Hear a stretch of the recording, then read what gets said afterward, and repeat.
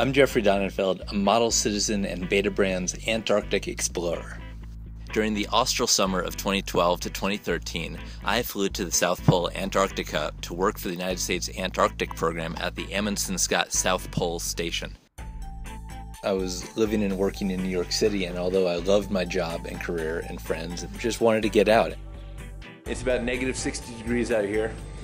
I'm being kept toasty warm by my Betabrand smoking jacket. I did a lot of exploring all of the ice tunnels under the station, science experiments, I ran the full South Pole Marathon on solid ice. The bitter, freezing cold is a wake up and really makes you feel alive and gives you energy. If you're sitting at your desk thinking about places that you want to go or big adventures you want to have, that you should absolutely do it.